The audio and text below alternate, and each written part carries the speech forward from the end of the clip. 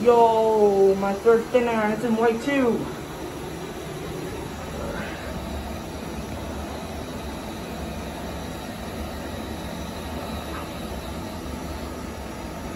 Made in 2019, right? I think it's made in 2019. Looks like it works good because the light's on.